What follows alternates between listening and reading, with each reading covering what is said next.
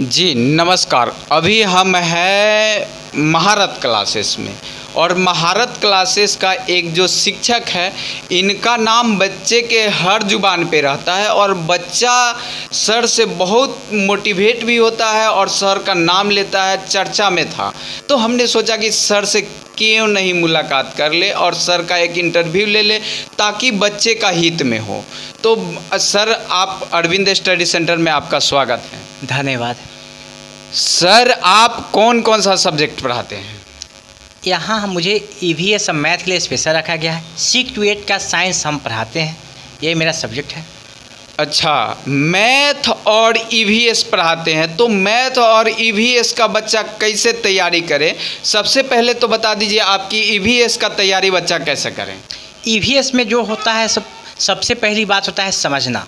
रटना नहीं चाहिए। ई वी एस को जितना समझदारी से आप यूज़ कीजिएगा उतना समझदारी आपको एग्ज़ाम में फ़ायदा करेगा। ई वी एस का क्वेश्चन कहीं से किस तरह घुमा के पूछता है आप जितना समझदारी से यूज़ कीज के बनाइएगा कोई भी चीज़ को समझिएगा वो ज़्यादा फ़ायदा करता है। हम बच्चा को समझने पर ही फोकस कराते हैं समझाने पर भी। अच्छा समझने और समझाने पर फोकस कराते हैं सर लेकिन कौन कौन सा सब्जेक्ट पढ़ा मतलब जो ईवीएस है, उसमें कौन कौन सा सब्जेक्ट, यानी कौन कौन बुक से पढ़े या आप नोट्स से तैयारी कराते हैं? देखिए, हम लोग का अपना नोट्स तैयारी किया गया हुआ है ईवीएस का, जो एन के आधारित है। जो भी क्वेश्चन मेरे नोट्स के बाहर का एक भी क्वेश्चन नहीं आएगा। अट्ठाईस से तीस नंबर का होता है एग्ज़ाम अट्ठाईस प्लस में अट्ठाईस, उनतीस, सत्ताईस, उनतीस, लोग पर्सनल वो अधिकांश बच्चा कराता है। ईवीएस का हम गारंटी ले रहे हैं। सर ईवीएस पढ़ाते हैं और सर नोट्स देंगे। वह नोट्स यानी नोट्स जो तैयार करते हैं वह कैसा नोट्स तैयार करते हैं? कौन सा बेस पे? एन के बेस पर मेरा नोट्स तैयार किया गया है। एन के बेस पर नोट्स तैयार होता है। उस नोट्स को लेकर आप पढ़िएगा और सर पढ़ाएँगे तो आप ईवीएस में अच्छा नंबर लाइएगा।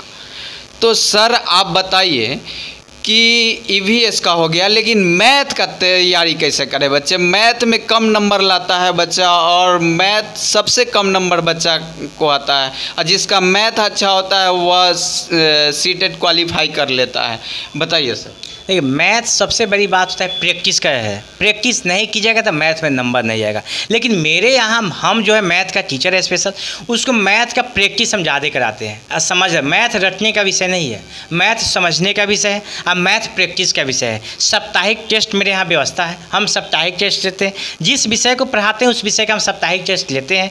उसका फीडबैक हमको मिलता है। उसके अंदर जो बच्चा का फीडबैक अच्छा नहीं है, उसको मैं स्पेशल टाइम निकाल कर देता हूँ।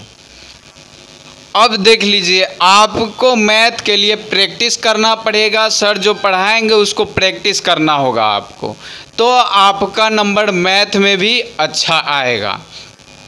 और सर, ये भी बताइए बच्चा को कि लगभग कितना, जो अढ़ाई तीन महीना समय बचा हुआ है, उसमें बच्चे कितना घंटा पढ़ें?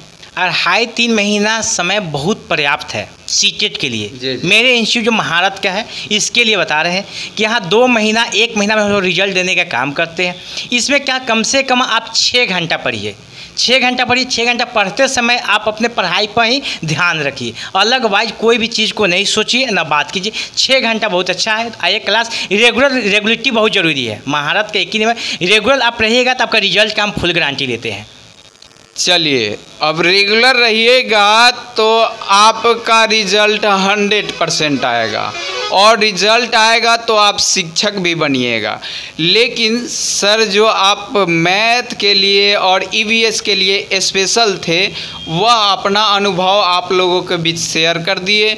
तो कैसा लगा वीडियो और आप अंतिम समय में बच्चे का क्या संदेश देना चाहते हैं? हम समय यही संदेश देना चाह रहे हैं कि बच्चा अभी जो भी नहीं आ रहे हैं, अभी नोटिफिकेशन बहुत सारा बच्चा का मन में है कि नोटिफिकेशन नहीं है, वो इंतज़ार नहीं करे। एग्ज़ाम दिसंबर में होगा ही होगा। आप आइए, तैयारी कीजिए अच्छा अंक प्राप्त कीजिए और भविष्य का टीचर बनिए। सर बोले कि अच्छा आइए और अच्छा अंक प्राप्त करिए और भविष्य का शिक्षक बनिए। अगर आपके मन में, दिल में इसका गुंज रहा होगा सी टेट का तो आइए और तैयारी करिए। आप सी टेट का एक शिक्षक बन बनिए।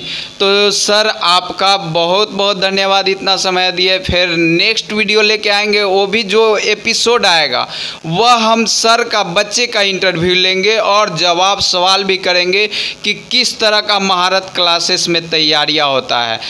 फिर मिलते हैं नेक्स्ट वीडियो में। धन्यवाद।